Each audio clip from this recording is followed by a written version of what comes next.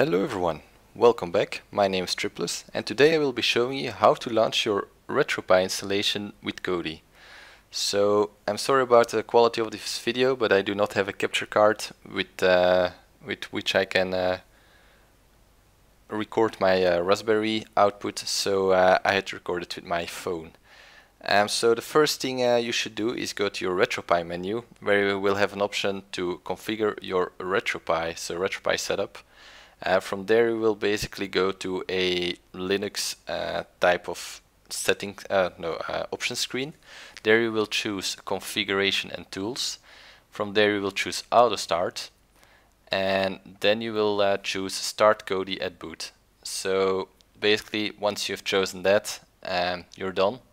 The next time you will launch your Raspberry Pi or your, your uh, RetroPie installation you will basically launch with Kodi first. So let's test this. Exit all the screens by clicking exit or cancel. And then once you're back in your emulation station, you basically just shut down the system or at least restart the system. I made some cuts here and there for the simple reason that I am running a lot on my Raspberry Pi B+, which is still a very old model as, uh, as most of you should know.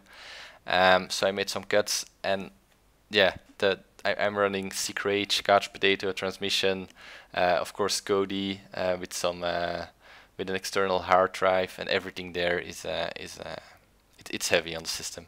So as you can see here, we started um, in Kodi. It, this is my Kodi installation. It has a Unity skin with a custom background.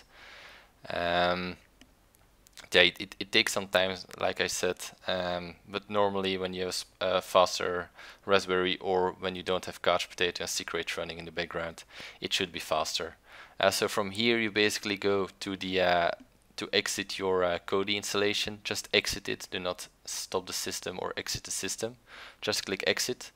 And once that's done, you will basically go back to your emulation station. Um, so yeah, there we go. We have a emulation station and from there you can launch Kodi again and go back and forth. So that's basically how it's done. It's pretty easy.